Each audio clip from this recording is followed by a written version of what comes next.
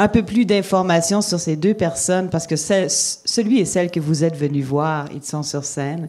Un peu plus d'informations sur ces gens que vous avez devant vous euh, et qu'on remercie d'être là aujourd'hui. Brenda Milner est une sommité en neuropsychologie. En fait, elle a contribué à fonder, à inventer cette discipline. Elle est spécialiste de la mémoire, de la cognition. Euh, c'est jamais élégant, mais on souligne son âge aujourd'hui parce qu'on souligne sa grande sagesse. Alors, 95 ans, c'est bien ça, Madame Milner. Euh, toujours active d'ailleurs à l'Institut neurologique de Montréal où elle a travaillé avec le docteur Penfield, dont elle connaît le prénom, parce que nous, on connaît seulement. Il s'appelait Wilder, c'est bien ça? Wilder Penfield. Euh, à ses côtés, Benoît Lacroix, prêtre dominicain, médiéviste qu'on connaît, qu'on reconnaît, spécialiste des cultures populaires, enseignant, chercheur à l'Université de Montréal, spécialiste aussi du poète Saint-Denis Garneau. Là aussi, on souligne l'âge, désolé, mais 98 ans, c'est très, impressionnant de vous avoir euh, tous les deux, toujours actifs, donc tous les deux.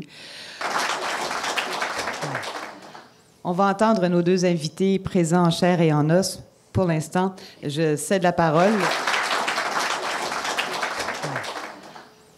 Ma première question aux deux invités ici, c'est celle-ci. Est-ce que ce langage, ici de l'artiste-chercheur de sa voix, signifie quelque chose pour le chercheur en sciences médiévales devant son inconnu à lui? Est-ce que ce langage l'imprévisible, le jamais manifesté, trouve des échos dans la façon dont la neuroscientifique va être amenée à poser ces nouvelles hypothèses? Est-ce que l'artiste vous inspire, messieurs, dames? Aucun doute, parce que moi je suis historien. L'historien cherche la lumière peut-être pas à travers les couleurs. Il cherche la lumière à travers les personnages qu'il étudie, à travers les faits, les événements. Et je suis très à l'aise avec ce vocabulaire-là. Les îles de lumière, ce qu'on appelle, nous, tout à coup, on étudie un sujet, on a une intuition. Tout à coup, comme une île de lumière. On n'y attendait pas, J'étudie l'histoire des religions, par exemple, et tout à coup, je rencontre à l'intérieur de l'histoire des religions le bouddhisme, qui est à la fois une sagesse plutôt qu'une religion, mais à l'intérieur du bouddhisme, je retrouve la recherche du moi, le besoin de se connaître, le besoin de continuité, c'était un terme de M. le Duc, le besoin de savoir que la vie continue. Et donc, euh, la lumière que m'offre Monsieur le Duc, c'est la lumière dont je me sers tous les jours, mais lui, il a l'avantage d'être plus intelligent que moi lorsqu'il étudie la, lumière, et moi, j'ai l'avantage d'être plus, plus pratique que lui, que lorsque j'identifie la lumière, tel personnage, tel événement, telle révolution. Donc, je suis complètement à l'aise avec ces mots-là. L'objet de ma recherche, c'est vraiment de comprendre les bases du comportement humain. On voit quelque chose et ça nous inspire. On veut comprendre pourquoi, pourquoi une malade ou une personne, un enfant, quoi que ce soit, qui que ce soit, euh, se comporte d'une certaine façon. On veut approfondir, on va trouver des moyens de mesurer de, façon scientifique ce, comportement qui nous intéresse, mais plus profondément, on veut étudier les bases neuronales, euh, comment dans le cerveau, les, voies cérébrales qui correspondent euh, à ce comportement. Et c'est évidemment tout tout ça commence avec quelque chose. Je peux dire que tout ce que j'ai fait, ça commence avec quelque chose qu'une personne a fait ou une façon d'agir qui a excité euh, ma curiosité. Et c'est toujours la curiosité qui me pousse à faire des, recherches plus profondes.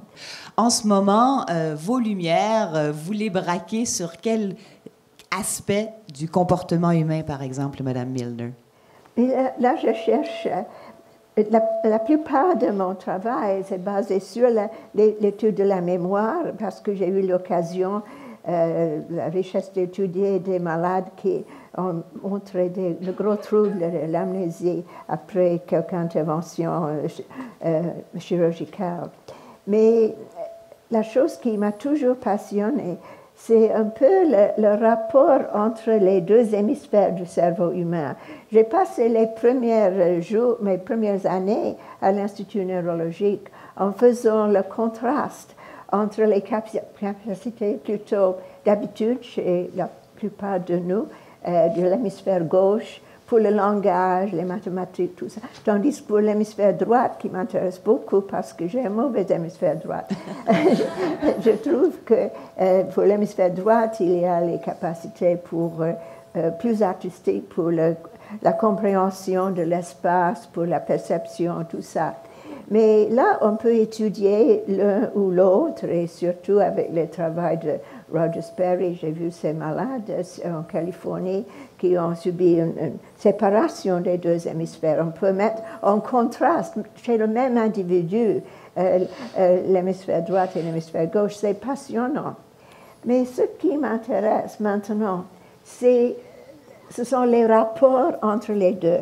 Il y a de gros euh, chemins non, neuronaux entre les deux hémisphères. Euh, et c'est très important que ces deux hémisphères se communiquent parce qu'on peut avoir une tâche purement verbale, mais à un certain moment, une petite image visuelle sincère est très important pour la solution du problème, de la question qui se pose. De la même façon, on peut avoir quelque chose purement spatial, artistique, mais à un certain moment, un mot, un, nom, les mots glissent et aident. Alors nous étudions maintenant euh, euh, avec, j'ai deux élèves postdoctorales, une du Japon et l'autre des Indes, qui travaillent avec moi. Euh, et on essaie avec l'imagerie euh, cérébrale actuelle, parce qu'on a tant de possibilités techniques maintenant. On dirait presque trop, non? Parce qu'on est inondé de données. Il faut, faut choisir, faut choisir ce qui est important et ce qui est moins important. Mais on essaie comme ça chez, chez l'individu intact, pas les patients, mais juste les volontiers, les élèves de McGill qui, qui, qui viennent euh, dans nos appareils. On peut voir euh, l'activité euh, cérébrale quand on leur donne des petits problèmes de mémoire, des choses comme ça. Et pour essayer, si c'est une question où on travaille un peu avec les images visuelles et les mots, de voir un peu l'activité. Mais c'est le début seulement, on commence. Benoît Lacroix, vos lumières en ce moment, si vous aviez un projet, si vous qualifiez vos recherches de projecteurs, vous aimez les braquer où? L'âge aidant, je suis certain que l'inconnu est plus grand que le connu. Et deuxièmement, que je ne finirai jamais de savoir. Troisièmement, je vais être méchant. Les religions qui pensent tout savoir, elles se trompent. Tiens. Parce qu'elles sont en face du mystère. Pour ce qui me regarde, moi, le Christ n'a pas tout dit. L'Évangile n'a pas tout raconté. La Bible n'est pas la somme de toutes les histoires du monde. La religion catholique n'est pas la seule qui puisse en quelque sorte dire qu'elle sait tout. Et je suis donc devant, à la fin de vie, en face d'un mystère qui est celui, le mystère de la connaissance, et madame, le mystère de la mémoire, toujours inachevé dans son action, je suis en face de l'inachevé à 98 ans et j'aime ça. Parce que je suis. Parce que je suis certain que, tout en respectant chacune, chacun de vous, je suis certain que vous ne viendrez pas à bout de tout ce que vous voulez savoir. Et je suis certain que le dictionnaire Larousse ou Robert ne sait pas tout. C'est que, et devant l'humanité qui s'ouvre à toutes les dimensions possibles, la rencontre des religions, la rencontre des civilisations, la rencontre des peuples, la mondialisation fait que tout à coup, et je suis très fasciné par les jeunes qui, devant tout cela, Facebook, tout ce que vous voulez, veulent tout faire tout de suite, immédiatement. Et évidemment, c'est une suite d'échecs, mais tellement de bonne volonté. Ce n'est pas un échec, ce sont des étapes à l'intérieur de la connaissance. Et je crois que, je vous écoutais tout à l'heure, je pense à M. le Duc, et je pense à vous autres.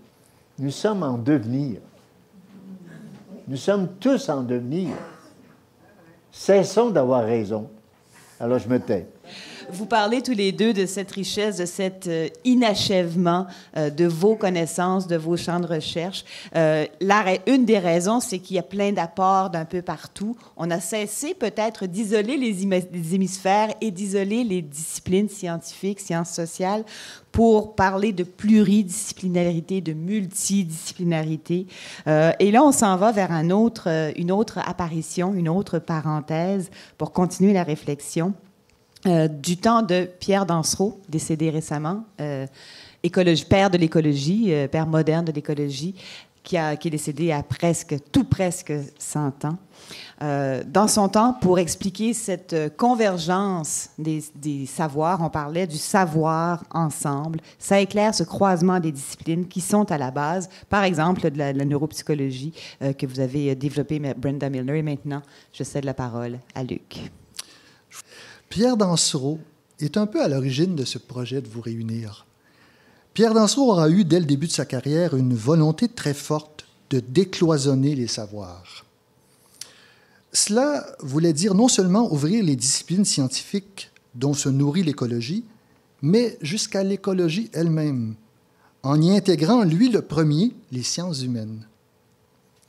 Naturel en ce temps-là, dit-il, signifiait absence de l'homme. Moi, évidemment, je n'acceptais pas cette limitation. Je me demandais, est-ce que tout ce que l'on a découvert sur le dynamisme des écosystèmes dits naturels s'applique à des espaces de pâturage, à des espaces agricoles, industriels, urbains, interspatiaux? Pour moi, c'était oui. Puis, une fois l'homme entré dans l'écologie, Dansereau aura encore cette volonté, la même, de décloisonner, mais cette fois, les dimensions du paysage. Il voudra alors rapprocher les paysages extérieurs, landscape, des paysages intérieurs, inscape. C'est que pour l'écologiste aux pieds nus, l'environnement est d'abord en nous. Le paysage commence par la perception que nous en avons.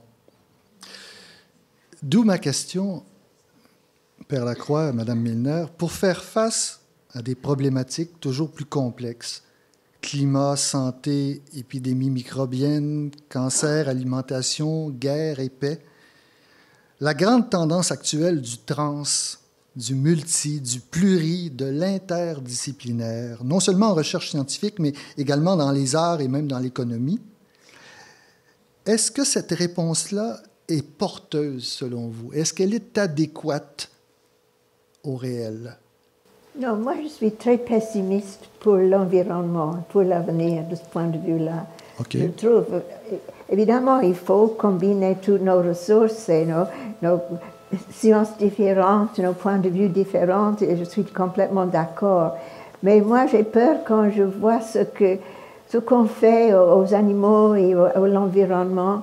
Euh, et la multiplicité des gens dans le monde, euh, j'ai peur pour l'avenir de notre planète. Je suis tellement d'accord avec vous. On ah. va continuer quand même.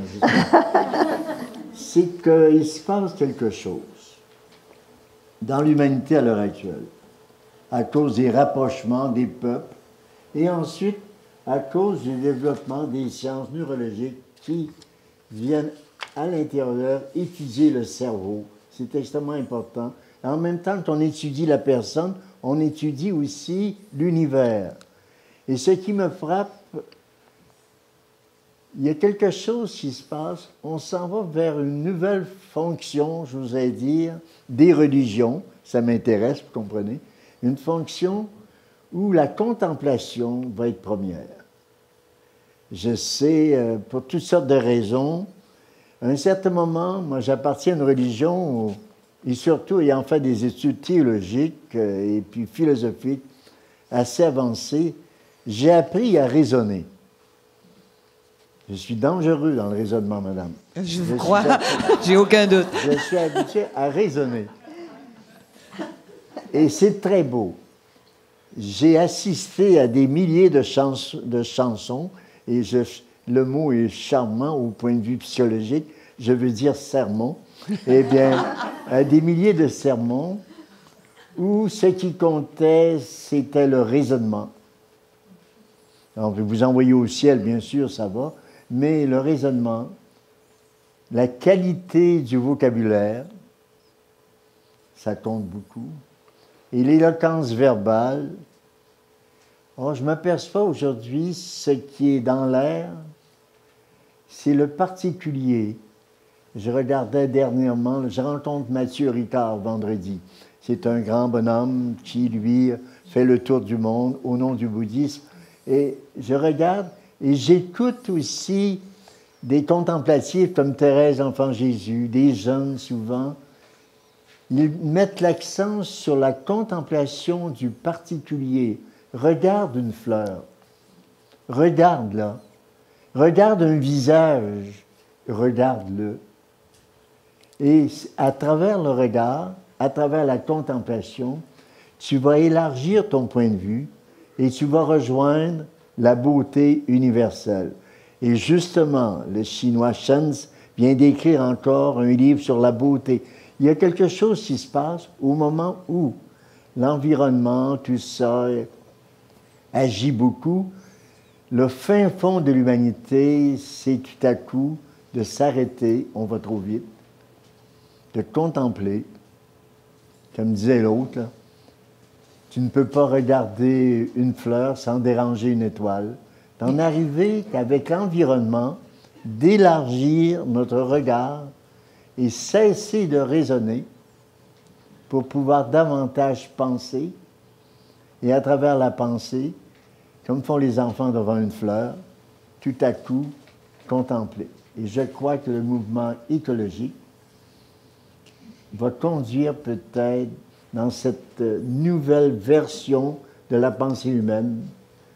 C'est dû au fait que l'humanité ne peut pas se satisfaire de ce qu'elle vit immédiatement et qu'en même temps l'humanité est capable de rêver à quelque chose qui la dépasse. Les religions obéissent à une perspective universaliste, mondiale en un sens, elles viennent rejoindre le rêve de chacun pour que la vie ait un sens, que ce sens-là dépasse ce que je vis et qu'il vienne d'ailleurs. C'est regarder les choses. Qui pourrait, parce qu'on vient d'entendre Pierre Dansereau parler euh, de, du début de l'écologie, de la euh, biogéographie, euh, c'est comme si on revenait à un, regard plus épuré après avoir appeler toutes les sciences, toutes les disciplines à contribution. Euh, on a peut-être fait un, pudding, une salade mixte euh, qui, qui, devient peut-être indigeste maintenant. À cause de la tendance de l'humanité actuellement, vous savez, là, chacun, vous savez, on devient nerveux, chacun veut être son moi, son moi profond, chacun est moi, puis chacun vous avez dit le mot tout à l'heure, séparation, j'ai tiqué parce que je voulais dire quelque chose à ce sujet-là. Je crois que il y a du danger. Il faut que chaque personne s'identifie. Il faut que chaque science s'identifie. Il faut que la mémoire s'améliore en connaissant davantage tout ce qui est de cognitif en nous, mais il y a une tendance normale dans l'humanité de, au lieu de se séparer, de se diviser, je rejoins votre mot. Et la division n'ajoute rien. Nous sommes faits pour être ensemble. Et transformer la séparation en opposition, c'est instinctif. Je vais prendre par exemple le concept d'égalité. C'est beau. Égalité, fraternité, ça veut bon. C'est beau. Mais regardons regardons les arbres, les feuilles qui tombent, regardons qu'est-ce qui se passe. L'égalité, non. Non, non. On, est on entre dans les différences. Vous parlez euh, justement de cette division-là. euh, de, de moi, je fais un lien euh, qui est boiteux, mais je m'en vais euh, vers une clientèle que vous connaissez très bien, Madame Milner, qui sont les gens qu'on appelle cérébro-lésés. Il y a des gens qui ont leur cerveau, mais à l'intérieur du cerveau, s'est passé quelque chose, un accident, une maladie qui affecte le cerveau. C'est un champ de recherche en neuropsychologie euh, qui est en fait une grande partie de, ce qu'on recherche, une grande partie de la clientèle que vous avez pu rencontrer euh, au cours de la bonne partie du 20e siècle, Madame Milner. Et il y a des artistes qui sont cérébro-lésés comme ça. Des fois, cet accident-là donne lieu à des réflexions, à des œuvres. Et c'est tranquillement comme ça que je me dirige tranquillement vers Luc pour qu'il nous présente le prochain invité surprise. Plusieurs artistes cérébro-lésés, épileptiques, victimes d'ACV ou de tumeurs euh, au cerveau, comme Gérald Godin, ont témoigné indirectement de la neuropsychologie dans leur art. Gérald Godin est mort à la suite de la propagation intracérébrale d'une tumeur et il a écrit un certain nombre de poèmes où il exprimait ce qu'il euh, vivait dans ces périodes qu'on appelle de rééducation après la blessure au cerveau. Madame Milner, ça fait 75 ans que vous envoyez des gens qui vivent au niveau cognitif toutes sortes de situations. Souvent, moi, je cherche mes mots. D'abord, les mots des, des gens, les noms propres. Et ça, ce n'est rien, c'est arbitraire. Mais après, quelque chose de, de grave. Ce matin, je cherchais le mot asperge, non? J'ai voyé le, les légumes devant moi. J'ai besoin de, de manger les, les asperges. Mais qu'est-ce que c'est? Et le mot est, est venu, mais, heureusement.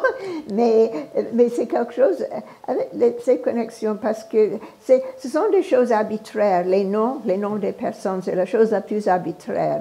Et, c'est là que les, gens euh, ont des troubles même subtils. C'est euh, parce qu'il n'y a pas de raisonnement. D'autres façons de difficultés linguistiques, oh, il y a des connexions logiques qui peuvent nous aider, mais non, c'est tellement, tellement arbitraire. Non, c'est commun. Mais pour les, malades que je vois, euh, D'abord, j'ai étudié surtout euh, le- malade HM qu'on appelle, qui avait de gros, gros troubles de la mémoire, vient de décéder à l'âge de 92. Euh, Mon, élève Suzanne Coquin a écrit un livre là-dessus. Euh, moi, j'ai travaillé avec des gens comme ça qui ont une intelligence parfaite. Ce qu'on apprend de ces malades, c'est que euh, peut rester intact euh, du point de vue intellectuel, mais avec de grosses inhabilités d'ajouter à notre stock de mémoire. Non? C'est de moment en moment, euh, on a vu des films, euh, des films qui démontrent ça. On regarde Gérald Godin, il y a beaucoup de gens qui ont dit c'est pas juste. C'est pas juste que ce soit lui qui ait eu ça, par exemple, qu'un homme de mots soit affecté dans son cerveau comme ça. Souvent dans nos vies, on va dire c'est pas juste. On sent une injustice. Euh, avec les outils que vous avez, avec les connaissances que vous avez et que vous recherchez maintenant, est-ce que vous savez plus qu'avant ce qu'il faut faire devant l'injustice? Est-ce qu'on se révolte? Est-ce qu'on se soumet? Est-ce qu'on accepte? C'est à recommencer chaque fois. Ah. Pour chaque personne. Je crois. Cette que vous dites de la mémoire, ça me fascine. Je sais que ce que vous faites. Elle travaille beaucoup la mémoire. C'est la grande spécialiste de la mémoire actuellement ici, mais cognitive et tout ça. Moi, j'ai une petite question insidieuse à vous poser sans l'autorisation de madame. Oh, vous l'avez. C'est. euh, Est-ce que les. C'est parce que le 11 septembre, le 11 novembre arrive. Moi, j'ai assisté au retour des soldats de la Première Guerre. Je me souviens très bien qu'ils arrivaient à Halifax.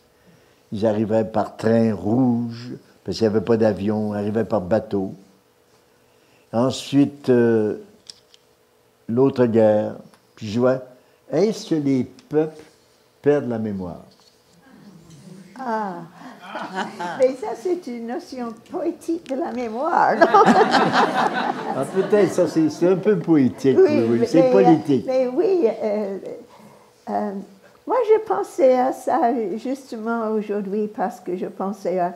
à- à- euh, c'est le 11 novembre, lundi, et j'ai vécu, je me souviens quand j'étais au lycée, on allait toujours euh, là dans la, la hall pour nos deux minutes de silence. Et même maintenant en Europe, on en fait un peu plus qu'ici parce qu'on est plus proche dans la mémoire. Euh, mais mais c'est sûr que dans ce sens-là, le, le peuple, ce sont les individus qui oublient, évidemment. Mais le, le peuple, dans le sens que si tout le monde commence à oublier, oublier peut-être il y en a quelques-uns qui n'oublient pas, mais il y aura un effet de groupe, sûrement. C'est ce que vous voulez dire. Je pense que vraiment le, le peuple, le peuple oublie, on oublie. Peut-être pour les Américains, pour le, les, les grands euh, euh, désastres de septembre euh, 19. Je, je ne sais pas des choses comme ça. Oui, c'est sûr qu'on qu'on oublie. Peut-être serait- c'est bon qu'on oublie, peut-être, parce Ah, qu'il y a trop de choses, de désastres nouveaux à nous occuper. Moi, je comprends, je comprends, par exemple, avec le peuple juif avec la Shoah. Ils font tout pour rappeler ce qui est arrivé parce qu'ils savent bien oui, que oui, les gens peuvent oublier. Et c'est tragique si on oublie ça. oui. Mais ça va revenir. Peut- Vous n'êtes pas optimiste? Je suis pessimiste. Est-ce que vous vous sentez, du fait de votre expérience cumulative très impressionnante, une responsabilité de nous rappeler? Ah, Je crois que oui. Oui, oui, moi aussi. Je crois que Oui. Et s'il y en a des grands-mères ici, pensez-y, s'il vous plaît, avec les enfants. Il faut absolument que les enfants soient instruits sur des faits et des événements. Ils ne l'auront pas s'ils continuent à aller vers un pouvoir médiatique facile, instantané. Je crois qu'il y a une éducation de la mémoire. Et des fois, je me demandais, madame, si ce que vous faites actuellement avec les adultes, est-ce que c'est encore nécessaire quand on voit que les enfants n'ont pas le culte très fort de la mémoire, ils ont le culte de l'instantané, de la rapidité, de l'événement vite. Et je me demande si là, je me pose des questions devant ce que vous faites. Vous travaillez tellement bien et puis vous avez des résultats. Et je regarde la nouvelle génération qui n'est pas en état, madame, je réponds à votre question, n'est pas en état de se souvenir parce qu'elle est dispersée. Et la mémoire demande une certaine attention privilégiée. Avez-vous peur qu'on soit en train de changer le monde, de multiplier les sources d'information et de communication, les sources de mémoire à l'extérieur du cerveau que sont les banques de données, au point où on va devenir, on va avoir un effet qu'on va altérer notre cerveau, nos descendants auront un cerveau différent? Moi, j'ai, moins peur de l'avenir que ce que votre question suppose. Parce que j'ai confiance dans le savoir humain. J'ai confiance dans l'évolution même du savoir scientifique, en neurologie. Et, bon, écoutez, ce que madame raconte, c'est merveilleux, vous entendiez ça, là. C'est quelque chose de très beau. Et à ma manière, que voulez-vous, la solidarité qui existe dans le cerveau, la solidarité des muscles, des tissus. Et pour moi, c'est un appel à la solidarité humaine. C'est que physiquement, physiologiquement, je prends vraiment des mots gauches, hein, je n'ai pas des mots, moi, je suis pas savant, mais neurologiquement, on est appelé à la solidarité. Je parle de solidarité, disons, entre nous, pour des raisons même neurologiques, imiter le physique pour découvrir la grandeur de l'esprit. Euh, cette solidarité dont vous parlez, Père Lacroix, euh, moi, ça m'a fait tout de suite penser au phénomène cérébral qu'on appelle la plasticité. La plasticité cérébrale, Madame Milner, vous pouvez en parler longtemps, hein? c'est quelque chose qui est une forme de solidarité des cellules neuronales qui fait en sorte que lorsqu'il y a une lésion, il y a d'autres cellules qui vont prendre la relève. C'est un vont- appel. Oui, la- c'est un appel de la part du, des savants Oui. Qui le font d'une manière scientifique, pour nous qui devons le faire d'une manière peut-être humaniste. C'est l'appel du corps à respecter l'esprit, c'est l'appel de l'esprit à s'élargir. Au Exact. fond, la leçon que j'ai entendue, c'était très beau ce que vous disiez, là, mais c'est ça. C'est la leçon du corps. C'est une leçon. Le comme corps petite nous base. parle. hein. Arrêtons de le traiter comme un ennemi. Et les savants nous parlent. Ils ne sont pas simplement des, des gens qui alignent des découvertes scientifiques, ils sont des gens qui vivent la solidarité à l'intérieur de leur savoir et qui nous donnent la leçon. Pourquoi ne pas rester solidaire puisque déjà mon corps m'appelle à cela? Au fait, les religions vont-elles accompagner l'humanité encore longtemps? Le récit, évidemment, autrefois, on croyait ça à la lettre, mais aujourd'hui, on sait très bien que c'est un conte qui était en Orient un peu en route, mais qui a été précisé dans le récit d'Adam et Ève, et puis surtout la création. Nous avons besoin de contes. Et, Madame, notre mémoire est malade, mais notre imagination, elle, je crois qu'elle est toujours survoltée. Alors, d'où la naissance et le conte est là. C'est tout naturel. Il suffit de surveiller les enfants quand ils se racontent des histoires. C'est jamais vrai, mais c'est toujours beau. Qu'est-ce qui est en construction, ouais?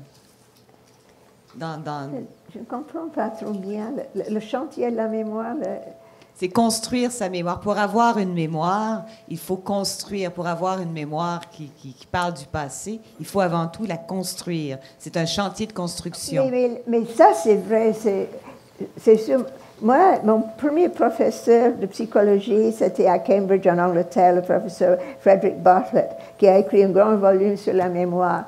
Et puis, lui, il disait toujours que la mémoire, c'est pas, c'est constructive, c'est pas reproductive. On, dit, on parlait souvent, il y a beaucoup de psychologues qui parlaient de, la mémoire comme quelque chose qui vraiment c'était une reproduction exacte ou inexacte, mais le but, pour lui, c'était toujours quelque chose qu'on reconstruisait selon nos besoins, selon nos préoccupations. Alors, c'est pour ça qu'on sait que dans les, les cours pour le, témoignage, qu'on peut pas fier souvent au témoignage, non? Les gens sont honnêtes en ce qu'ils disent. Ils disent, je me souviens très bien, j'ai un très beau souvenir, je le vois dans mon- ma mémoire. Ils parlent, ce qu'ils disent, c'est vrai, ils ont l'impression. Mais la mémoire, on peut démontrer, il y a beaucoup d'expériences, et Bartlett était une des premières à faire ça, que c'est vraiment euh, pas exact, la mémoire. Et la confiance n'a rien à faire avec. On peut être très confiante et on se trompe parce que la mémoire est, reconstruite. Et euh, par contre, il y a des gens qui disent, mais je n'ai pas confiance à mémoire, je ne suis pas sûre, mais peut-être ils ont une meilleure mémoire. Il n'y a pas de rapport entre ce sentiment de confiance et euh, la validité de ce qu'on rapporte. C'est très dangereux dans les, dans les cours, non? Dans les Pour témoignages. oui, oui, les témoignages, oui. C'est pas parce que c'est vrai, c'est pas parce que c'est beau que c'est vrai. Euh, C'est ça, c'est ça. Alors, c'est c'est de sa nature, c'est on reconstruit, oui. Toujours en chantier. Une autre question.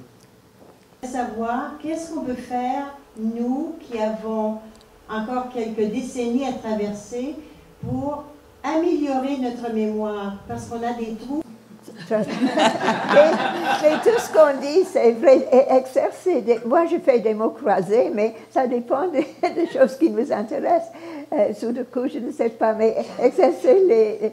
euh, problem solving, non? Essayer de travailler. Ça, c'est pas directement mémoire, mais garder euh, l'intelligence active, c'est très important. Et même aussi l'activité physique, c'est bon, non? Ne pas euh, se, se laisser aller, c'est très important.